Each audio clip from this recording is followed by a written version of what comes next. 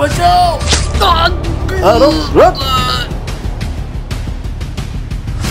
Sir जी इसने एक आदमी का मर्डर कर दिया। मैंने इसको मौका वारदात पर ही पकड़ लिया।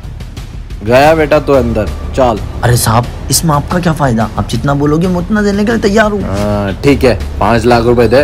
बाहर के बाहर छूट जाएगा। अभी मिल जाएँगे आपको पाँच लाख रुपए। सर ये आप गलत कर रहे हो। चुप कर।